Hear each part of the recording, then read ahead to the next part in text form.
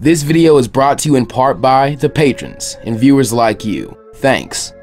Hey, what's up, Plus Ultra fam? You guys have read the title and the thumbnail, so let's just jump into our recap. But please stick around to the end of the video. When we last left off, Broly and Vegeta were revealed to be alive, and were recruited by our warrior Kanasan to join forces with him and oppose Frieza. We also met back up with Kakarot at the age of 15, living life in the Frieza Empire. And after a long time, he'd finally met back up with Broly and spoken with him. And it was there he was given a new and apparently significant role to play in the rebellion. And we return to this story, now. It has been three years since our story left off, and the Nappa Force have just returned from another fairly simple mission. Harder missions were rare for the team now. It was evident that Frieza wanted to minimize the chance for them getting Zenkais. He would always have the team's power read after such missions. It wasn't desirable for them to grow any stronger, but neither was squandering profits. The constant shifting between meaningless slaughter with no real challenge, and actual limit-breaking battle was taking a toll on the Saiyan psyches. Things have been rough since Kakarot's reunion with Broly. Questions were asked about the incident in the training room, and a culprit for the mysterious soldier who appeared in the room was never found. Frieza had been very displeased about this, and had personally interrogated Kakarot with a good bit of quote-unquote forced coercion, so to speak.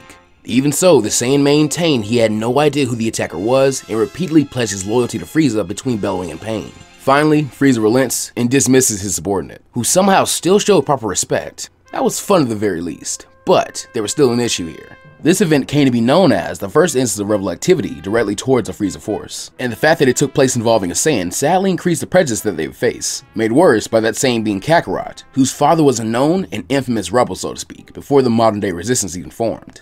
In a galaxy-wide address to all his soldiers and clients, Frieza made it very clear this behavior would not be tolerated, and he would use the full weight of the Frieza Force to prove that point. Even so, Kakarot had attempted to do as Broly asked of him, become a perfect soldier for Frieza, a perfect murderer, a monkey on a leash. He'd even encouraged his teammates to do the same with little more than a vague promise of it all being part of a greater plan. One day they make their move, but for now, they play the hand dealt to them. And even stuck in that small statured state, still, his brother and companions had grown to trust and respect Kakarot. Though, sticking together did them little good. Through gritted teeth, Kakarot and the Saiyans made it through three years of ever-maddening treatment, especially since the rebel activity was only increasing. Frieza had lost a small amount of planets on the outer rim of his reach, and reconquering those wasn't an issue, but unless Frieza himself stayed on the planet, it amounted to a loss of resources and men for a meaningless cause. The insolence of this group did not match the size of it, and slowly but surely, the hits he took became greater and greater due to the losses. It was a simple fact that his elites were not meant to make up the majority of his forces. So, he's decided to deploy the Ginyu Force to a planet that he's purposely painted as a prime target for rebel takeover. And he is sure that this would likely end this charade. But his own inclination towards cutting down Kakarot's pride only fed more into his growing concern, feeling the cycle worse than before. This is why once again after completion of their mission, the Nappa Force is called directly in front of Frieza and his primary lapdogs, Zarbon and Paragus. All kinds of questions are lobbed at the new leader of the team, Kakarot. Not a role bestowed upon him as a reward, but instead to better keep an eye on him. Kneeling in front of the Emperor of the Universe, with the other members of his team behind him, Kakarot is asked once again why their skies were destroyed against weaker opponents. He apologizes but reminds Lord Frieza that Saiyans aren't the gentlest. Frieza then asks why this is the third mission in a row in which there was a bit more force than necessary, resulting in damages that brought down the overall value of the planet. Kakarot again apologizes, but reminds it's hard to hold back against such weak planets. He humbly suggests that Frieza start allowing them to operate in smaller teams when on such assignments. Frieza was less than pleased with the pseudo respect. Kakarot has slowly begun to have issues showing the real thing. But amused at the Saiyan's sharp tongue, Zarbon pipes up at how surly Kakarot always was behind that loyal soldier stick he attempted to put up. In reality, he was nothing more than a snarling beast like his father. The veins on the foreheads of Raditz and Kakarot throbbed a bit, but they were used to such remarks. Still, it was disgraceful to allow their father to be mocked by a crony of Frieza like Zarbon. Bardock would be turning in his grave according to Raditz. The remark brought Frieza's good mood back. He even thought of a fun jab he could take as well. He attempts to recall Bardock's name, not letting on that he hadn't been able to forget it, but he plays coy regardless. With so much pressure and tension, the Space Camel's back broke. Eyes widening in rage, Kakarot couldn't hold himself back anymore. He first reminded Zarbon of his place under him with a right hook that spins the alien around and sends him into a wall now cold. Kakarot's furious gaze and shot to Frieza, and over a decade's worth of anger saw its opportunity to explode out. Raditz and the others shouted at him to stop as he flew directly towards Frieza, only for a slight glare from his oppressor to erect a barrier of sonic force that his power couldn't bulldoze through. He is repelled and sent bouncing back, and is knocked out cold himself, now sporting a large gash on his forehead. Frieza coldly orders the rest of the Saiyans to get out of his sight. The Saiyans scramble to do so. Raditz and Nappa scoop up their comrade and leader and book it. As he leaves, Beat spares a few moments to look over his shoulder at Paragus, who valiantly meets his gaze. Frieza merely inhales and the lanky Saiyan falls behind the others fearfully. Completely ignoring Zarbon as he slowly comes to, Frieza asks Paragus what the reading of Kakarot's power was in that outburst. His Saiyan lieutenant replies that it was only marginally higher than his last reading, a measly 42,500. And so, pleased with his efforts, Frieza decides to celebrate a good day of business. Kakarot is put in a healing tank. In the soothing liquid, his mind is finally able to attain a more peaceful state and allow more clarity of thought for the first time in ever, possibly. Sadly, those thoughts were largely negative. Today had been nothing but a reminder of his station as a slave. Broly hadn't been back to see him, and he hadn't heard from him. The Saiyans were never told firsthand of Rebel attacks, and the Rebel army used commandeered Frieza Force gear to hide their identities. He didn't know where Broly was. In truth, the Rebels were a faction of ghosts left in Frieza's wake. He, Raditz, Nappa, and Beats, they die like this. While he wallowed, Kakarot could just barely pick up on a faint and unclear voice. He didn't hear this voice with his ears though. It was almost as if the sound was in his head. He focused on it and became clearer and clearer and familiar. His name. He heard his name called. And then, his consciousness made a connection. Opening eyes in his mind, Broly appeared in front of Kakarot after yet another long stint away. He even spared a joke at Kakarot finally hitting a growth spurt, but Kakarot seemed nearly soulless right now. No energy in his greeting or happiness at the reunion. It occurs to Broly the weight that he's asked his younger brother to bear, and he asks for a debrief of the situation. A bit of fear creeps up that Kakarot isn't the man for the job. Sighing, Kakarot gives a quick and aloof rundown, ending up to date with him nearly getting himself killed in something so pitiful he couldn't call it a fight. Slowly his anger began to burn away his apathy, and sympathizing, Broly stayed quiet and let Kakarot calm himself a bit, and then he spoke again. He tells the younger Saiyan that the rebels are ready to move out, but Kakarot shows a bit of hesitation and wants to know the finer details of the plan, because the way things are now, he doesn't see them winning this war. Tulo said the same thing more or less. That's why we're done with pot shots. We've got the giant kneeling so to speak, so our fangs can finally reach its throat. Hours after Kakarot had been placed in his healing tank that night, Frieza is interrupted from his leisure as Zarbon is forced to barge in on his lord and inform him of grave news.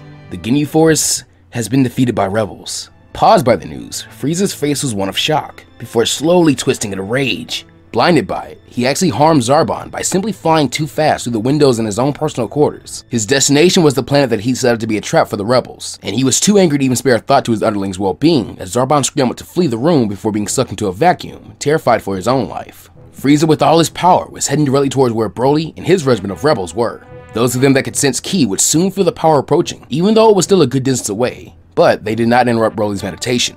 They had complete faith that he would get them out of there in time. Back in the mental meeting, Broly explains that if they can mount a huge offensive, the rebel cause will gain even greater momentum. Then, with an all-out assault of the Cold family, using all their firepower, all their tech, all the support they have, then it truly might be possible to free the universe. Kakarot asks to know when they plan to do this. He'd have to come up with a way to properly take on Frieza himself, and he definitely needed more power. But Broly assures that they've got him covered, with some good backup and a hell of a training partner. Kakarot then asks who other than Broly would be worthwhile backup. We jump to a planet far in the galaxy, but under the control of Frieza nonetheless. Alarms blare in a base as another attack by the rebels has been launched. The two co-commanders of this particular base, Abo and his brother Kato, angrily rush their underlings into battle. One such underling, a young Saiyan by the name of Tarble, reluctantly joined the battle as well against the attacking rebels. This was scary because it was hard to use a scatter against them, and the rebels weren't known for fighting honorably and out in the open. They obscured the battlefield with dust clouds and explosives, used their stolen Frieza Force armor to infiltrate the ranks and cause friendly fire, and he'd even heard rumor they had heavy hitters capable of destroying planets. That wariness though led to the coming invasion being spotted thanks to miscommunication with a few incoming ships with a now outdated security code due to Frieza's stricter mandates. But the end result was just a firefight of ki blasts and primitive trench warfare. The majority of Frieza's forces at the base has gathered outside to face the threat, and there were already men put down the skirmish. It angered Tarble. Most Frieza soldiers were scum, but these underhanded tactics and just being on the side of Frieza rubbed him the wrong way. All he wanted was to meet a nice girl and settle down on a quiet planet, a mute dream if he died a dog of war. Invigorated, Tarble powers up, and a few of the soldiers around him look warily, noting that he is much stronger than them, even for a Saiyan. Still unaware where the enemy actually is, he yells for his comrades to move their lord to the Empire, and begins to rain down a barrage of large ki blasts in the direction of the enemy forces, pelting their position and causing many of the enemy soldiers lacking in road combat training to dive out of the way or retreat. Before long, the entire opposition had backed out of Tarble's range, and the Saiyan grew a bit tired and was left having expended himself a good bit. From inside one of the rebel ships, the feeling of Tarble's ki gets the attention of the leader of this brigade. Vegeta stands, relieved that there was one opponent strong enough to toy with. To keep his identity hidden, he dons a helmet and sets out. barking at his men for being weak slackers and ordering them to stay back and let him show them how to do this. The Frieza soldiers screaming to get a power reading on him, and seeing them do so, Vegeta can't help but flare his power from min to max in a short instant. Numbers exceeding the 100,000 mark flashing all their scouters before they finally burst. The majority of Frieza's men then cower in front of an opponent on the Ginyu level, and Tarble looks around. Once again, he finds himself having a Saiyan-like reaction and aversion to their cowardice. They are fighting for their lives here. If they had to go down, then go down fighting. Once again with a boost of hot emotion, his power skyrockets and he guns directly for the opponent. Vegeta is unimpressed with the straightforward attack to the point that he doesn't even look at Tarble long enough to recognize him. Simply, he powers up to allow his own ki to repel the weaker warrior, and he smirks behind his helmet at the sight of it. Tarble, however, stops on a dime right before he smacks into the pseudo barrier and points with two fingers directly toward Vegeta's head. A pocket-sized orb of ki appeared inside Vegeta's helmet right before his eyes, and he recognized it as a technique extremely similar to his dirty fireworks. Though with some ease, he rids himself of the helmet and races behind Tarble as the attack detonates, seemingly taking him with it. Tarble was in the right to look happy after the attack. To a lesser opponent, the surprise and close range would have probably been deadly, if not a deadly distraction. But he then felt a chill as a familiar voice spoke out behind him. His eyes widened and he spins to face his brother for the first time in years, but a chop to the neck caused him to fall unconscious. With too much going on, Vegeta doesn't really have time for the reunion at the moment. He then yells out to the surrounding Frieza soldiers, who in turn were surrounded by rebel forces now. He tells them to surrender and live. Smart men join their cause, and dumb ones pay their debt to society another way. While the soldiers recognized themselves no match for the Saiyan, they definitely feared Frieza more, and they jeered the Prince of all Saiyans who rolled his eyes and mumbled that Tulo couldn't say he didn't try at least. Besides, he'd found Tarble. That was good enough recruiting for one day. The Yardratian rebel Hushu then appeared next to Vegeta and chided him, bringing up his rivalry with Broly. Vegeta waves him off and gets back on topic. He asks if they found Abo and Kata. He could feel their ki in the base, but he didn't want to blow the entire thing away in case there was anything useful inside. But then, the two elite power levels disappeared, and it was almost as if Frieza himself had defied logic and replaced them, and hidden his own ki to ambush the rebels instead. Collectively, fear ran up the rebel army's spines, as a large purple Frieza soldier emerged from the base in rage. Hushu curses while his student gets even more excited about fighting, and the two of them speculate on the origin of this attacker. But with a solid guess on it, Vegeta activated his favorite skill taught to him by Hushu. He was one for originality, and didn't like being on equal footing with Broly at all. It was why he'd refused to learn a few techniques that Broly had, but when Hushu offered to teach him Spirit Fusion, Vegeta saw it as a possible super technique. And so, he rushed to the Purple Warrior, even with a massive disparity in power, and he dodges just enough to land one single strike, which actually splits the creature back into individual parts of Abo and Kato, both looking completely bewildered and confused. Vegeta's cold smirk towards the two of them was their last sight, as Vegeta with a double dirty fireworks blew their minds and dropped them both to the ground. Calling back out to the Frieza soldiers, who had been cheering until now, he asked if they're sure whose side they want to be on. And a few soldiers do change sides, but the majority do not. As grim as it is, playing by Pyro rules, the remaining enemies are put down and the base is ransacked, with Vegeta in quite a happy mood. He goes to take Tarble back to the ship and get him up to speed sooner rather than later. It was better not to put this off for too long. Kakarot's first peaceful sleep in years is interrupted as his healing tank is drained by a scientist accompanied by Paragus of all people. His mood is ruined instantly, and he steps out of the healing tank as Paragus gives him a mission briefing. He details classified information that Kakarot is currently one of the only higher ranked soldiers remaining. The Ginyu Force and two more of Frieza's higher level warriors have been defeated by rebels. Thankfully, Kakarot's poker face has improved. In service of Lord Frieza, and to spare him working too hard, Paragus has suggested that Kakarot take the Nappa Force and get them prepared to lead their own teams. Despite their treatment, they've proven themselves loyal as a whole. The apologetics were easy to see through for Kakarot, and it disgusted him how Paragus became pitiful after Broly and Vegeta were gone. He was just content with bootlicking to stay alive, and it seemed like some misguided sense of kinship between Paragus, Kakarot, and even Beats made him force it onto them as well. Paragus would then inform Kakarot of a pretty impromptu guest on his little training mission, and Kakarot growls at having Zarbon obviously set spy on them, but does not voice any issue with it. All of this was fairly convenient actually, and he chalked it up to this being the result of the actions that Broly alluded to, but is surprised that his plan worked so well. He begins to get dressed as Paragus details more and more, and finally notices the new scar on his forehead and the reflection against something shiny. Luckily, he still had the ceremonial headband that Nappa had prepared for him when he thought Broly was gone. He stopped wearing it, but held on to it, and now he had a use for it again. Paragus notices him equipping it, but decides to say nothing about it. He then issues Kakarot a new and apparently more sturdy scouter, and explains that he had convinced Lord Frieza to equip his elites with brand new models. He also tells Kakarot to keep being a good soldier. His reward was coming, but Kakarot simply ignored this. From there, he left, and inconspicuously uses his still somewhat shaky ability to sense ki to track the other Saiyans to the mess hall, and travels there to inform them of the news. Happy that he's alive, the Saiyans obviously tease him a bit before he reminds them why he's the leader, and actually cracks a small smile for a bit. He then decides to go over a bit of the classified info he'd been told, simply holding the new scouter in his hand to try and muffle the sound as much as possible. Raditz and Nappa are somewhat excited for the training trip, but Beats is still not really happy with his life as a warrior and sinks lower in his seat and focuses on stuffing his face for now. Kakarot then remembers one more thing that Broly said last night. Kakarot calls out to Beats and holds up his scouter and asks if he can do anything about their little bug problem. The engineer's curiosity and tinkering ability is sparked, and he answers that he has an idea and wants to try something. Kakarot nods and tells him to pull out whatever stops he needs to. Anybody who has a problem with it can come take it up with him. Happily, Beats goes for more food. Kakarot then uses his head again and asks Nappa to bring a Saibaman with him as well. They could also be pretty helpful. And he warns him about the final member of their little excursion. Soon enough, the group set off and are tortured by having to endure Zarbon's jokes and jabs at their expense from his attack ball. He likely knew the Saiyans would get their payback during the training, so an assault of insults now would be best. He'd by no means forgiven that brutish ape for striking his elegance, and this time he'd be ready to go all out. Surprisingly though, Kakarot didn't participate in the War of Words this time. He stayed silent and never responded at all actually, even as his brother did, and it only made Zarbon talk more.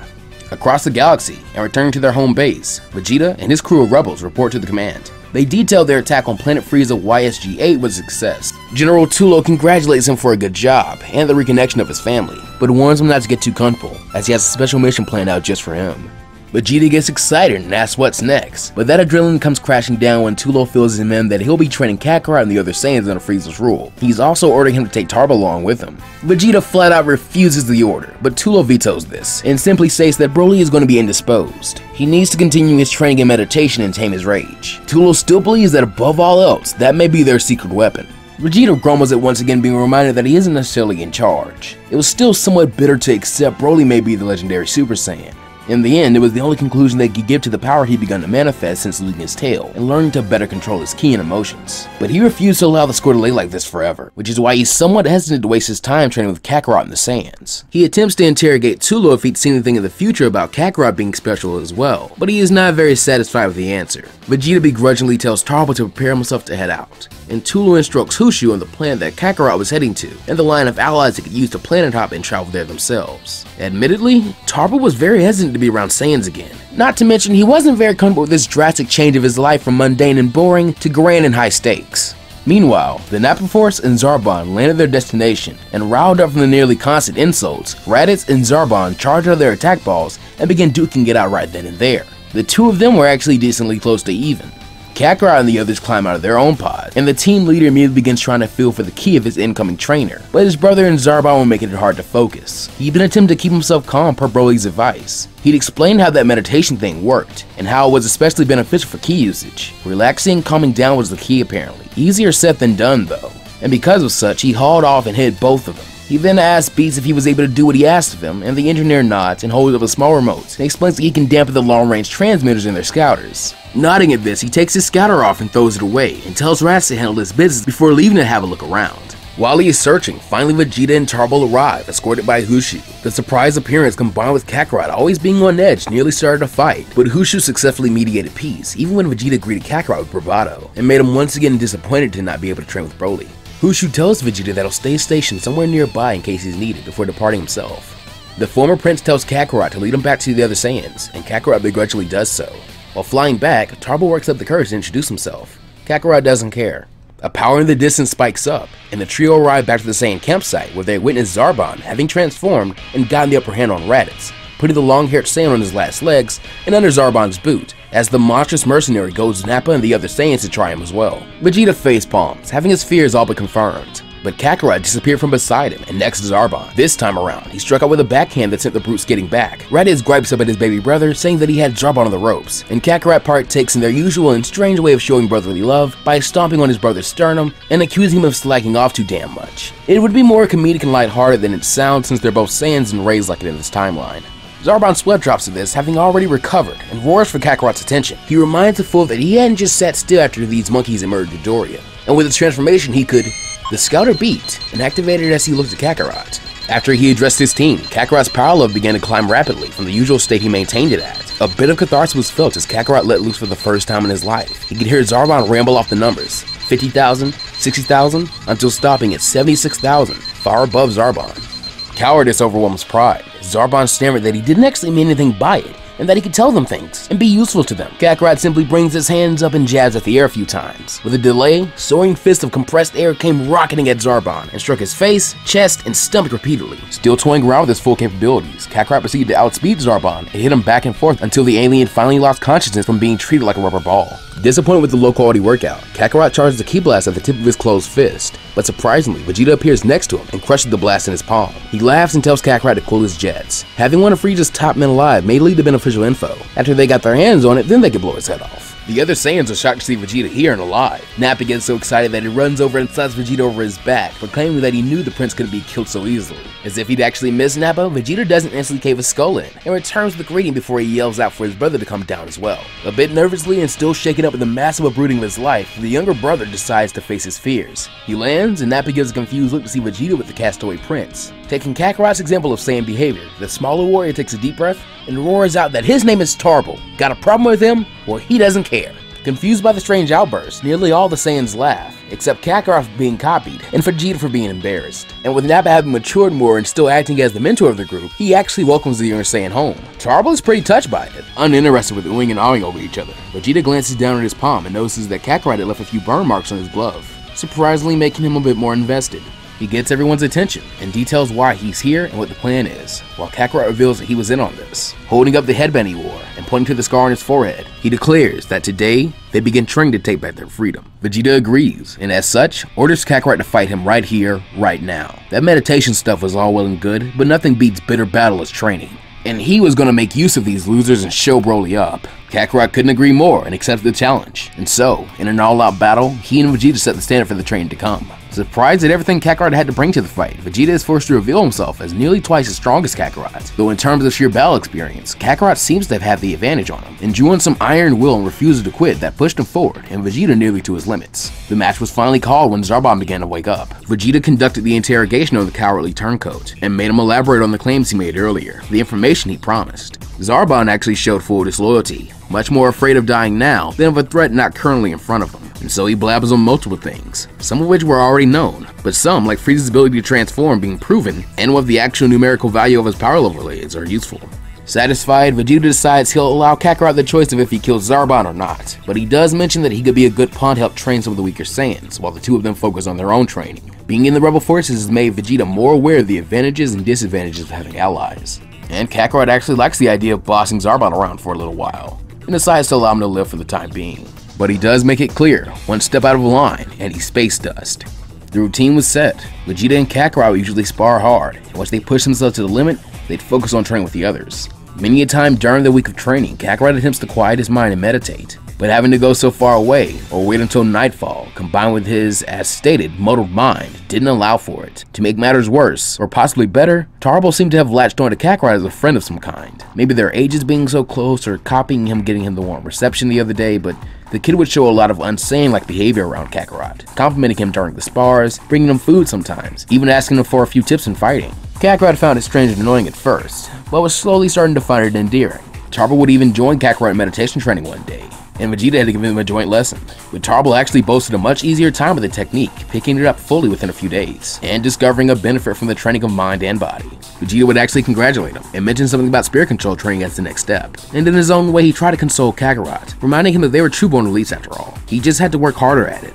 Curiously, Zarbon had also gone through a bit of a small change, thanks somewhat in part to Vegeta and Kakarot's power, along with their mercy. His preconceptions with Saiyans really weren't matching up with reality right now. He thrown himself wholeheartedly into the training he'd been forced into and worked hard, because if not, he expected he wouldn't survive very long. There was also the inescapable fact of Saiyan power and potential in front of him right now. It made sense that Lord Frieza did what he did in a strategic view in face of that truth. But nonetheless, they'd always be the underdogs against Frieza. They all were. Zarbon himself only noticed this change in perception when Kakarot had mentioned something was different about him.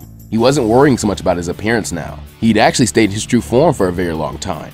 He'd assumed it so many times in front of the Saiyans, who never seemed to care what he looked like. They only seemed to care about fighting a strong opponent. They wanted to get stronger. So did he at some point. It was hard not to while watching these eight warriors. This all culminates with the deal being struck. When they return to HQ and heal, Zarbon can sneak away before the fighting begins, but he has to keep his mouth shut about it. Since he was unable to complete his meditation training, Kakarot still takes full use of the sparring partner known as Vegeta, and when he couldn't, he'd go back to the old-fashioned training he used to do, ramped up to an extreme degree. According to Raditz, even Bardock was a fan of simple exercises like push-ups and sit-ups, and thankfully Nappa had cultivated an even stronger strain of Saibamen. Vegeta was in fact so impressed he actually asked for a few, citing that these guys could do wonders in the rebel forces. But finally the week is up, and the return order will be sent out. The Nappa Force and Zarbon board their attack balls, while Vegeta and Tarble meet up with Hushu for their portion of the plan. The trip will likely take a short time, but during it, Broly and his squadron are preparing for their prong of the attack, the ambush on King Cold. Having spent so much time training and meditating to find control of his anger, Broly is ready to do this. Sadly, he hadn't been able to contact Vegeta or Kakarot due to his training being so intense, but he believed in them wholeheartedly. But for right now, he and his men had to keep a cool head as they infiltrated the planet King Cold's ship was currently on. Back at the Frieza planet, the Saiyans and Zarbon are sent to the healing tanks to fix them up of any damage. Hours later, Paragus arrives and scans through their power levels, and is adequately pleased with the results. These would all be decent power levels for new elites, but Frieza had directly ordered him to interrupt Kakarot's nap so he could report to him early.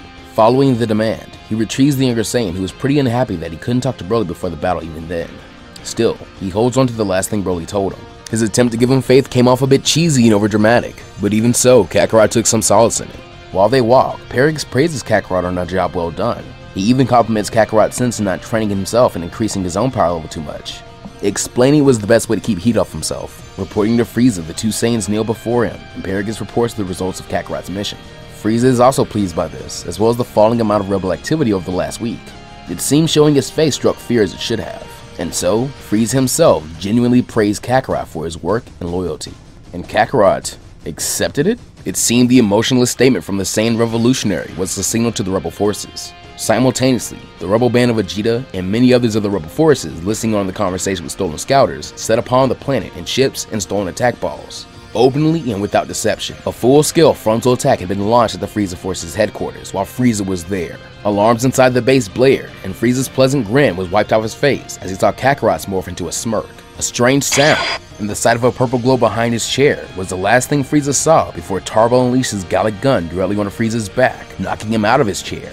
Having been transported into the room along with him by Hushu, Nappa, Raditz, and even the usually non-combative Beats, dogpiled and began to ruthlessly beat down on Frieza as a collective, giving him no real reprieve even as the blows as a whole did little more than scuff Frieza. Nappa had even somehow snuck a few Saibamen with him, and the evil gremlins did little more to add to the nuisance. It was when Kakarot joined into the assault that Frieza began to have the most trouble and felt a bit of sting.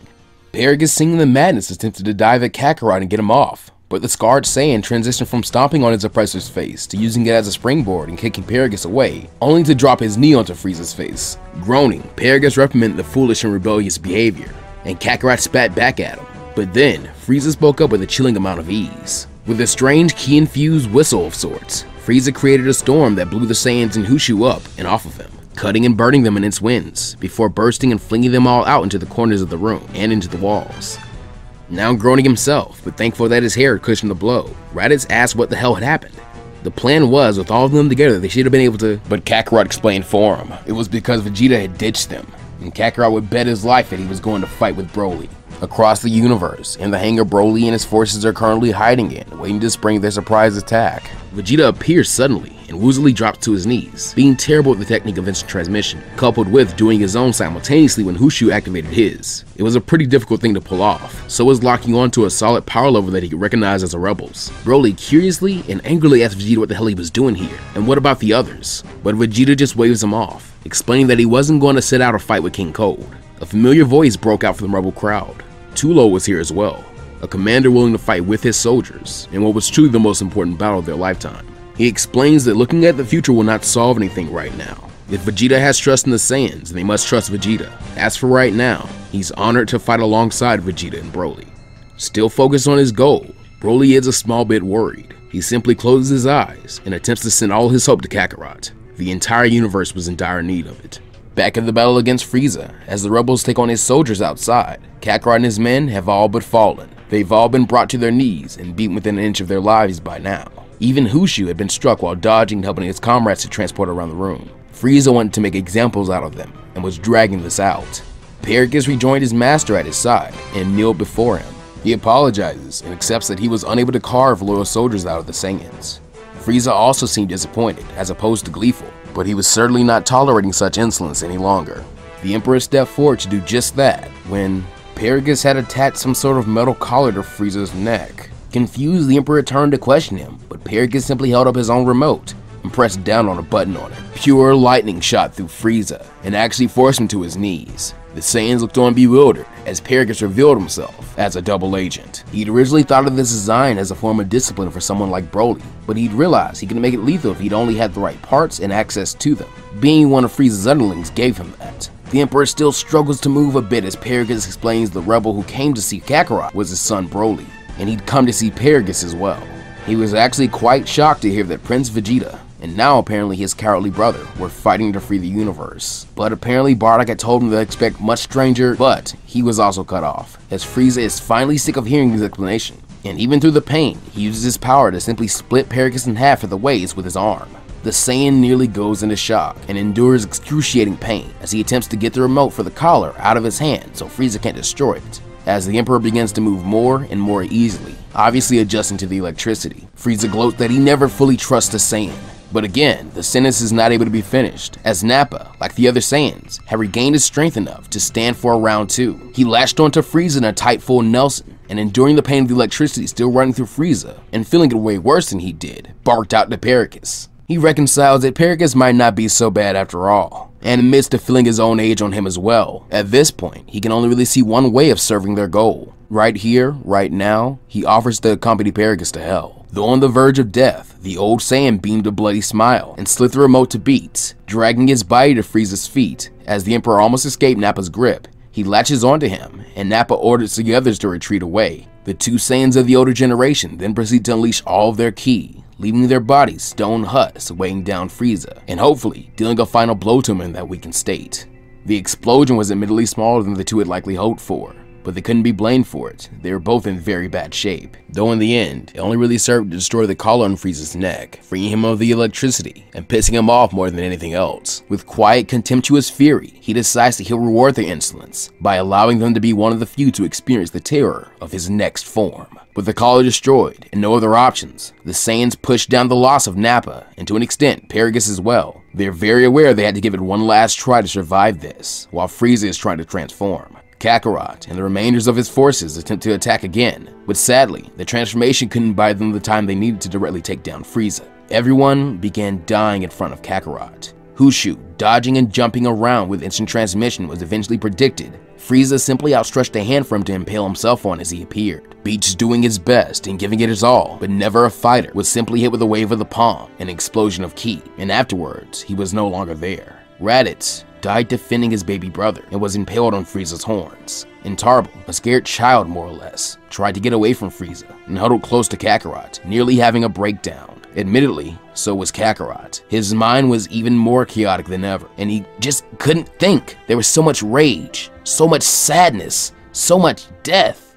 He finally came to the conclusion that Broly was wrong. The universe didn't have any light. Frieza continued to stalk closer to them, enjoying the pitiful sight of the two, and Kakarot began to cry along with Tarble. Why weren't there any heroes? Why was he never good enough? Why did they have to live like this? Frieza reached out towards Kakarot and removed his headband. He wanted to see the scar he left one last time before he put down the rabid dog. But Kakarot's hand shot out and took hold of his oversized wrist, squeezing down hard on it and confusing the Emperor. As the ground began to shake, Kakarot began to vent his frustrations with the world, his frustrations with Frieza. He hated that Frieza could just be born into a position of power the way he was, and never train a day in his life for it. Kakarot's hair began to stand on end, as he did as well.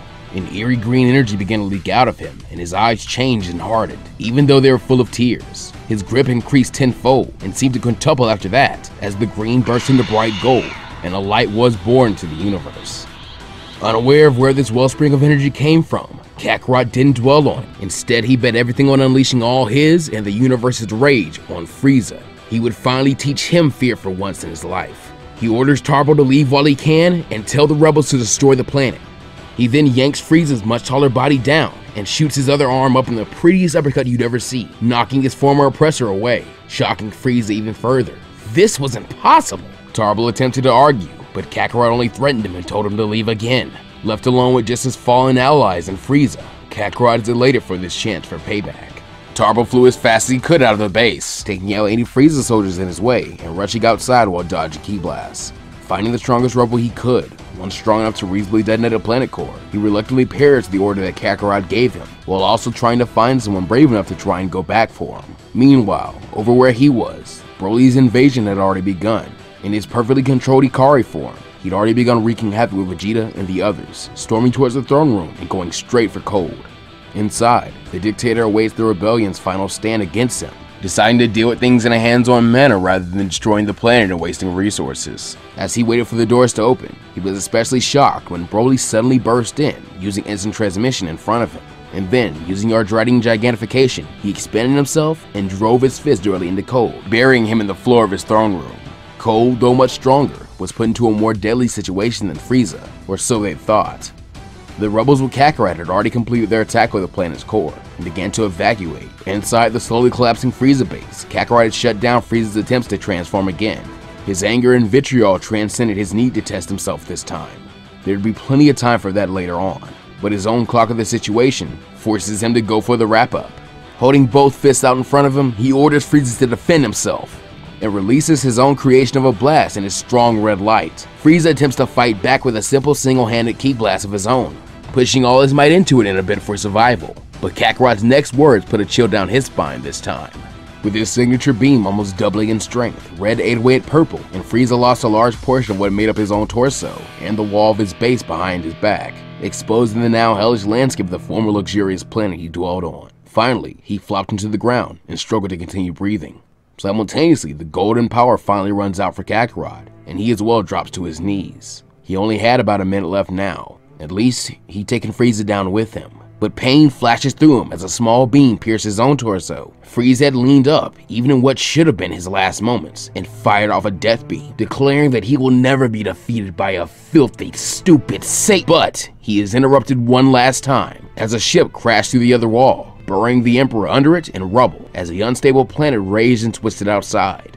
Tarble pokes his head outside a hatch in the ship and bolts out towards Kakarot getting Kakarot's arm over his shoulder and getting him inside of it, yelling out to the pilot to get his ass going now. The ship took off, joining the caravan of retreating rebels and cowardly soldiers wise enough to leave. And literally by the skin of the ship's paint job, they escaped the planet's blast. Tarble does his best to deal with Kakarot's wounds. When of all people, Zarbon charged from the cockpit after hitting the autopilot and began to help Tarble while exclaiming how scary that was. They do their best and finally get Kakarot stabilized, when a transmission comes through the channel the rebels had been using with their ships. A report from the King Cold ambush. It was a failure, and Cold is still on the loose. But that plus Soldier Fam, so we'll be leaving this story off for right now. Hey guys, thanks for watching to the end of this. I really do appreciate that. Just want to say, Black Lives Matter. It's still June when I'm recording this, so also happy Pride Month. I don't know when this will be edited though. And also, trans rights. I also want to give a very like heartfelt thank you to those of you who stayed really excited and waited very patiently for this video through almost like a year long wait. I will not lie, there was a ton of pressure with writing this. Because I've also done What If Goku Landed on Namek, which was the first like near viral video I've had on this channel, so I hold it really close to my heart and I was very afraid of writing anything that was overly similar to it or seemed like a one-trick pony, and I did feel like there are a few parts in this one that did hit beats that were in that one. So the entire time there was a bit of nervousness with writing it. Thankfully, I ended up sending the script to a few friends to have them review it. I actually had Smuckstick give it a read, he enjoyed it. I had Ox Nagadaba give it a read, he enjoyed it. I had Burning Blood Sanji, aka Zen Lucas Divers, who is a who is a moderator in the Discord, give it a look. Also, Zyra Returns, who is a patron and a moderator in the Discord, gave it a look. And thanks to all that feedback, I gained a lot more confidence in what I had made. So now I'm just excited to see if you guys enjoy it. And also a really big shout out to What If Universe. He did the editing for this video. Really do appreciate him for that. Um, in the description below, you'll find his links to his Twitter, his YouTube channel as well. And I personally recommend that you check out his What If Goku Stayed single series. It's actually got a bunch of really cool guest narrators, and I believe I'll be appearing on it very, very soon as well. As for artist shoutouts this time around, I owe one to Sniperman Arts. He did the commission of the Goku that you saw on the thumbnail. He did it really, really well, and I think he did the design of the Dragon Ball Sai version of Kakarot extreme justice. Also really cool because I never told him that like him calming down would be a big part of the story and it seems like the image of him actually is like trying to calm down and maybe do meditation or like maybe Tai Chi or something is really really cool of a coincidence. Oh, Sniperman also did the Dragon Ball style plus Ultraman that you saw at the beginning of this video by the way. I think he did really good on that as well. The next artist commissioned for this part was Argue Vandal. He did the Super Saiyan Sai Kakarot that you saw at the end of the video, and he did the Sai version of Kakarot and Saiyan armor that you've seen throughout. I think he did super great work. I also think he's really underrated, and also congratulations to him, he's gonna be a dad really soon. His links are in the description as well, but he is more focused on promotion of his DeviantArt page. So if you guys would like to support him, you could go to his Twitter and give him a follow and all that, but he would really like you to support his DeviantArt page. So go there and probably watch him there. That's pretty much the equivalent of following on DeviantArt. And while on the subject of DeviantArt, I want to give a very heartfelt verbal shout out to Maxi Uchiha 22. If you have not heard of him, it is simply because he does not ask for very much in terms of credit, but Maxi is literally one of the largest contributors to mine and a ton of other channels content in this community. Thumbnails, visuals, terrible edits where all you really do is change the character's colors a bit a little bit like I've been there man all that stuff is contributed to so heavily by Maxi, like an extreme degree. He has a massive and excellently organized catalog of Dragon Ball and other IPs renders and images, and they're all free to use and really high quality because they're official. He does an amazing job, and I really think the community as a whole should do more to show appreciation to him than we do with just throwing his link into the description. So in interest of practicing what I preach, thank you very, very much, Maxi Uchiha 22. And finally, just to show for myself, you can also follow me on my social media platforms. Mainly Twitter, honestly. You can get all kinds of updates and sneak peeks of upcoming projects and just kind of see me talking a little more unrefined and um, unfiltered way than you kind of see me talking on YouTube where I have to be a little more careful. Finally, but nearly most importantly, if not most importantly, we have our ever supportive patrons. So you guys should likely know the drill by now. In Hero tier, Lone Wolf McQuaid, Treb, Stefan Consferent, and Jonathan Howard. In Shinobi tier, Little Ichigo and Zaire. In Z Warrior tier, Narku. And in the Beyond tier, Pizza 15X, Knuckles OX, Don, Crimson Manifesto, and DJ the Lazy Gamer. As always, thank you guys so, so much, and hopefully I'll be showing everyone in the community the fruits of a little project between me and the patrons really, really soon. With that being done, there is nothing left to say but to tell you guys to take care of yourselves and the world around you. And as always, go beyond plus ultra. See you guys next time.